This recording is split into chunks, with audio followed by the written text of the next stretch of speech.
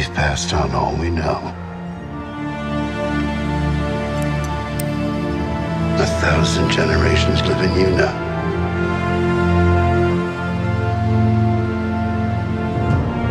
But this is your fight.